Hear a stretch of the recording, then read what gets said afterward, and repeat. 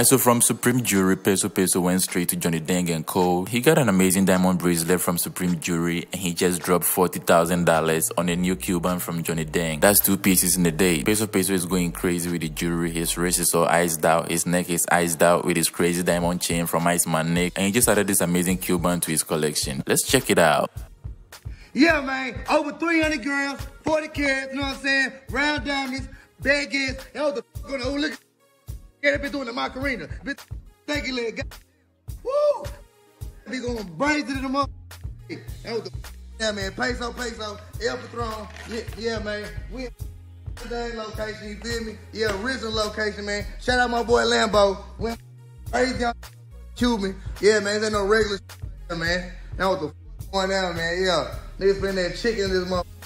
Spend, just came in and spent 40000 on this mother. That was the it man. Hey, and the tour start Tuesday, Wednesday. Start Wednesday, you know what I'm saying? Peso, peso, man. Shout out my bro right here, man. Appreciate the love, bro. Yeah. Yeah, man. Y'all know what the hell going on, man. Tour starts Wednesday, man. Peso, peso, Maxo Kream Tour. Y'all know what the down, man. Yeah, man. We we going to Fresno Wednesday, and we got a whole lot of more dates schedule. So make sure everybody get y'all tickets right now. I need all my fans across the country to come to my show. You know what I'm saying? It's going down. Peso, peso. I'm gonna have merch on deck and I'm gonna be everybody. So make sure everybody come to my tour, man. I need to see all my fans, all my supporters, all the pretty ladies, all the real players, real gangsters out there. Come to my tour. Let's have fun. Peso, peso, Maxo Kream is going down. Yeah, man, I know what the hell it is, man. Yeah, man, got that blue cheese on the phone, man. It's a blue cheese. It's a blue cheese spill.